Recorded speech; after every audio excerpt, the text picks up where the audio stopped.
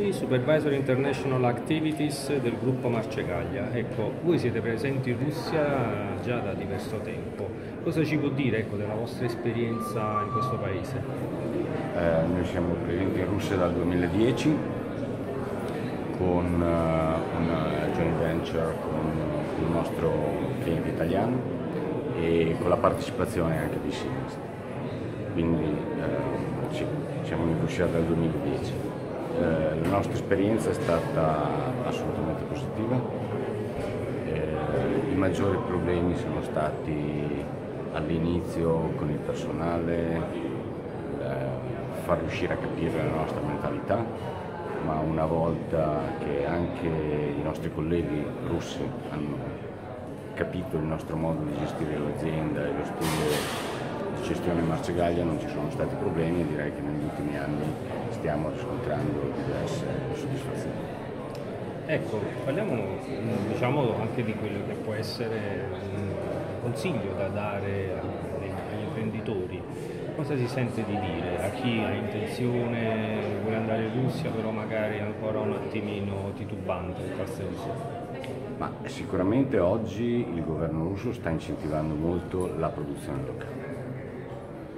Eh, all'inizio come aziende italiane a volte si è visto non proprio come un'azienda russa. Oggi diciamo che questa cosa dopo 3-4 anni di nostra presenza in Russia, negli ultimi 3-4 anni è molto migliorata. Stiamo facendo anche un'azione di antidumping comune come azienda russa che lavora sul territorio russo, noi siamo russi e lavoriamo per la Russia.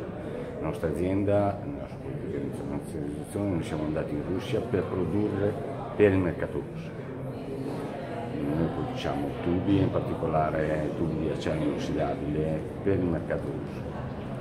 E oggi direi che se uno vuole andare in Russia e vuole affrontare la sfida di un mercato sicuramente molto eccitante e che può dare grandi soddisfazioni, la cosa è affrontarla con eh, le dovute cautele, come si affronta qualsiasi intervento di investimento all'estero, essendo sicuri, avendo un business plan ben preparato, sapendo di aver fatto un'analisi del mercato che si vuole affrontare nel proprio settore specifico in modo accurato e approfondito e di appoggiarsi a quelle che sono le istituzioni come la Camera di Commercio italo-russa e Siemens piuttosto che ICE, piuttosto che le nostre istituzioni governative che sicuramente possono dare un appoggio importante e aiutare in questo senso. Grazie.